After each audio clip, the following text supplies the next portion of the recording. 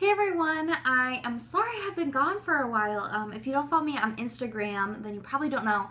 Um, I was in New York City from the 19th to the 24th with my mom, so that was really fun um, and a great time together. And then, so we flew back on the 24th, and then it was Christmas, and now it's the 26th, and I'm filming this now. So why there haven't been very many videos on my channel, um, but I have a lot to film and I am excited to kind of get a up on that over my winter break before classes start up again. So I thought today, um, as my first video back from being in New York City, I would share with you guys the makeup I brought with me, the makeup I brought in my makeup bag, because I haven't been doing, um, I haven't done a makeup basket in a while now. So I thought I would just kind of use this as a way to catch up um, with makeup and everything like that. So let's go ahead and get into it. Um, per usual, I have everything laid out. So I brought this lip balm, which is the Sierra Bees Organic Cocoa Butter Lip Balm, which I was using. This is really nice. It's a pretty hard texture, but when it's on your lips, it melts down to like an oil. So this is a perfect like prepping lip balm um, for your lips for like, you know, lipstick or anything like that. Just because it really like sinks in. It takes a while to sink in, so I put this on and then I do the rest of my face makeup. Um, per usual, I'm using the Skyn Iceland Anti-Blemish Gel on any acne that I had going on. Um, and then for my primers, I'm using the Tea Tree Pore Minimizer from the Body Shop, along with I had this little size of the Murad Invisible Invisiblur Perfecting um, Shield little guy. So this is just a little mini size of the primer that I've been using, you know, for the last couple months, I'd say.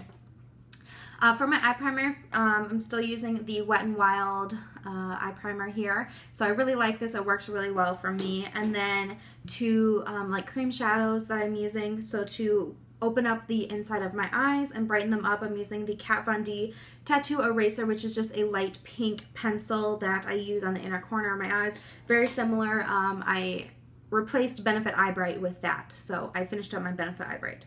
And then all over the lid, I'm using my Bare, Bare Minerals 5-in-1, uh, con, uh, not concealer, uh, baby, I'm having trouble talking. Let's try this again. Bare Minerals 5-in-1 Cream Shadow in the shade Barely Nude, which is just a cream shadow, has SPF in it. It kind of dries down to a matte finish. It um, it's kind of like a concealer where it clears out any um, like veins that you would see. It just covers them up really nice. So I really enjoy that. And then to set that, I was just using my Anastasia banana powder right here um, in this little Z palette that I brought. And I use this for other things too, which I'll mention as we go. For eyeshadow, I did bring my Lorac Pro because I am in the home stretch of finishing this up for Pan That Palette this year. Um, I'll have my finale at the end of the year, so just in a few days soon, and then I will share with you guys my plans for next year and where I'm starting with that, so stay tuned for that. Um, and then my companion palette to go with, with to go with this has been my NARS Duo in the shade Alhambra. Um, so it's just a shimmery golden and a shimmery kind of like pink champagne. Um, and I brought this with and I used it, but I also brought another palette with me. Um, this is the Buxom um, empty. It's it's the one that you buy empty and then you fill it with eyeshadows. You pick them on your own. So these are the shadows that I've put in mine. Um, I can list them down below if you are interested. I'll, you know, specify which way I'm going. But anyway, you just, um, you pick them and then they slide out and you put them in this thing and then they slide in and you can interchange them however, you know, you want. But I brought this with me just for, you know, quick eye looks and to change up the um, Lorac Pro for myself. Okay, so for eyeliner, I brought um, a couple with me. This is the Pixi so Endless Silky Eye Pen that I've been working on. This is the Cocoa one, so it's the brown. I use this on my top lash line. And then I also brought the Laura Geller Incredible Waterproof Gel Eyeliner. And this is a pencil, but it's a twist up. Um, and I've been using this on my tight line, and I've really, really been enjoying that. So um, I did use it on my upper lash line a couple of times too. And then my Tarte Inner Rim Liner, which I use on my waterline. So that's great. For mascara, mascaras. I brought with me the Too Faced Better Than Sex mascara. So there's that. And then also the Cosmetics Tight Line, which I use on my lower lash line. Okay, so then for my face makeup, um, what I've been doing is I've been putting on my uh, Pixi Brightening Peach Corrector before my foundation. So this just corrects any darkness underneath your eyes, um, you know, where you get dark circles.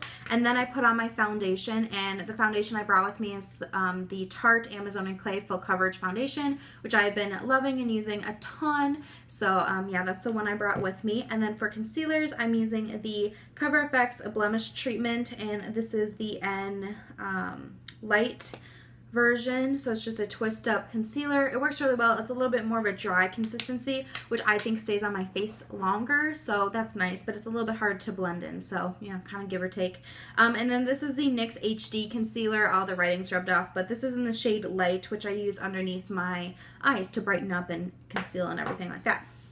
So um, to set my concealers for my under eyes, I use Anastasia Vanilla, which I have a big chunk of pan on. And then for my concealer on my face, I use Anastasia Banana just to really set it and kind of like adds a little bit more um, coverage to those areas. So that's that. And then to set my entire face, I'm using the Tarte Smooth Operator Setting Powder. It's the loose version. I really, really love this powder. It's probably my favorite. So um, yeah, I brought this with me because I did finish up my other powder um, that I was working on.